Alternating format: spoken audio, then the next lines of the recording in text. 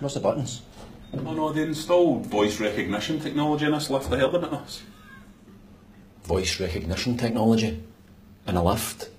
In Scotland? You ever tried voice recognition technology?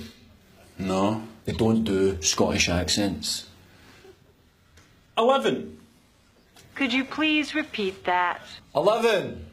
Eleven. You need to try an American accent. Eleven. Eleven. That sounds Irish, no American. What, doesn't it? Where in America is that? Dublin. I'm sorry. Could you please repeat that? Try an English accent, right? Eleven. Eleven. You for the same part of England as Dick Van Dyke? Please speak slowly and clearly. If you don't understand the lingo, away back came to your own country. Ooh, is that talk now, is it? Oh, don't start, Mr. Bleeding Heart. How can you be racist to a lift? Please speak slowly and clearly. Eleven. Eleven. You're just saying it the same way. You're going to keep saying it till I understand Scottish, alright?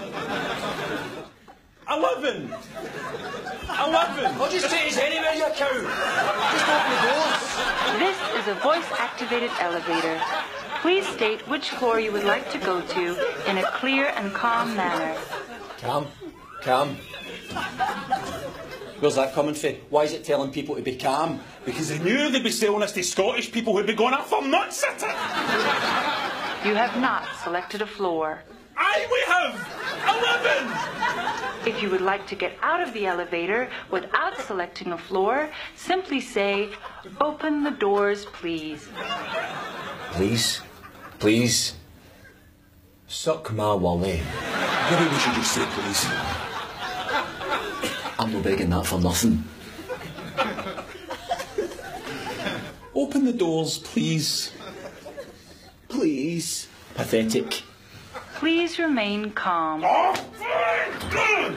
Well, you went up tonight. Get him up now. Hey, just wait for it to speak.